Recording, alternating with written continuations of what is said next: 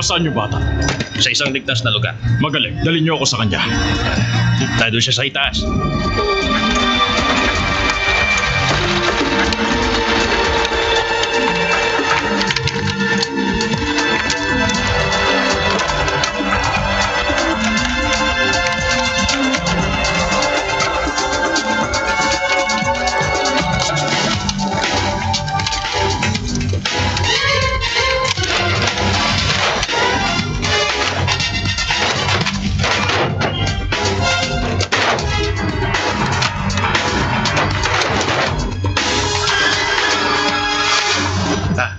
Nasaan siya? Andun po, sir. Ay, ay, ay, ibaba mo siya, ibaba mo siya. Alisin mo ang tali niya. Huwag mo siya sasaktan. Ingatan mo siya. Sige na.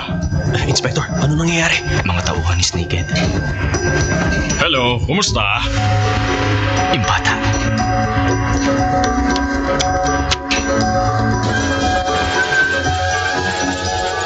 Magandang gabi, sir. Ipakita mo sa akin yung bata. Oh, oh, ngayon di po. Siya nga. Tratuhin mo siyang prinsipe. Walang problema, sir. Handa na kami umalis. Attention! This is the Marine Police! Huwag kayong kikilos na masama!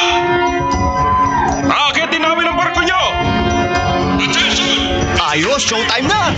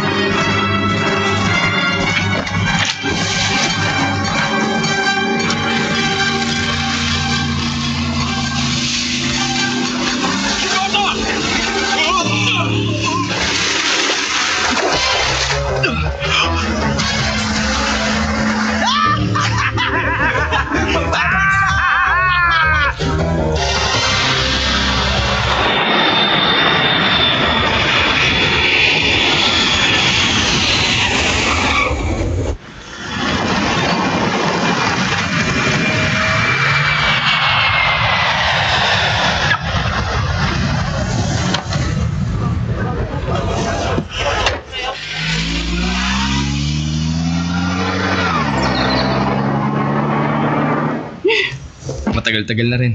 Hmm, tatlong buwan na. Na-assign ako sa ibang bansa at... Oo, tama. Sabi mo tatawag ka. Hindi ko alam na na-reassign ka sa... sa Ireland? Oh, Well, huli ka na sa balita, Eddie.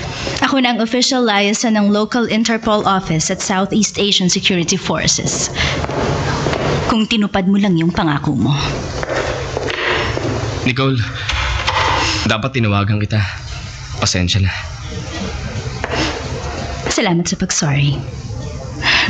Huli man, nag-sorry ka pa rin. Commander, ito po si Inspector Yang from Hong Kong. Salamat. Ako si Hammerstock Smythe.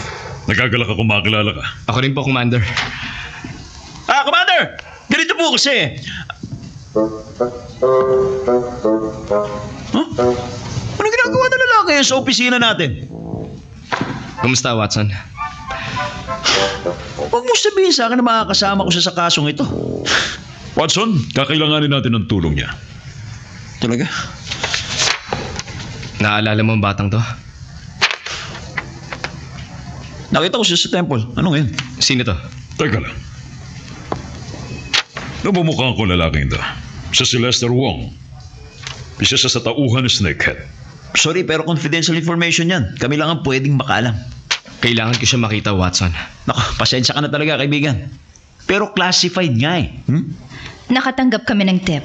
May darating na bagong shipment bukas para kay Snakehead dito sa Ireland. Baka nakasakay doon ng bata. Saan? Hindi namin alam. Bumalik ka sa Hong Kong, Eddie. Doon ka sa teritoryo mo. Watson! Bakit? Ah, ay, ay, sorry, sir. Ulitin mo pa yung kalokohan mo at aalisin kita sa kaso at si Inspector yung ang gagawin ko in charge. Masaya ka na? Five minutes ka pa lang nandito.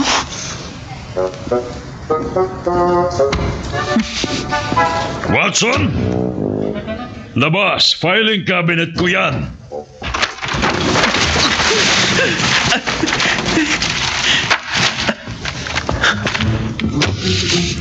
Yes, sir.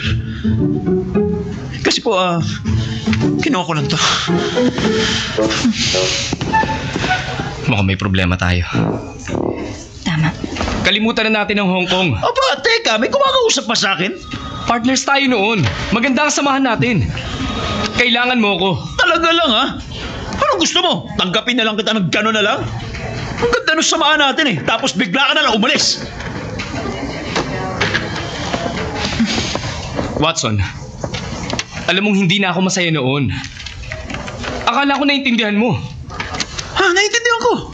Naiintindihan ko na hindi mo gusto na ako ang nakapaibabaw sa'yo. Sige na nga, ikaw na ang nasa ibabaw kung yun ang gusto mo. Basta gawin nating dalawa. Okay? Ayok, mag-enjoy ka na lang na gawin yun mag-isa. Okay?